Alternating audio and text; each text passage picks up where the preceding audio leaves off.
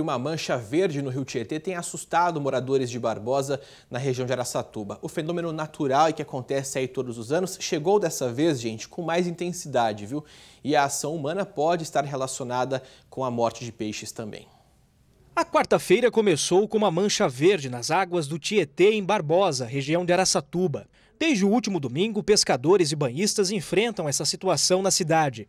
Segundo o biólogo da prefeitura, Juliano Donzelli, trata-se de um fenômeno natural da recomposição de algas, mas que é agravado pela poluição, principalmente dos agrotóxicos das lavouras, por isso o tom verde escuro. A poucos quilômetros de Barbosa, por exemplo, os peixes estão morrendo. A prefeitura alerta para que a população não entre na água durante uma semana, prazo para que o lodo se dissipe e as águas voltem ao normal.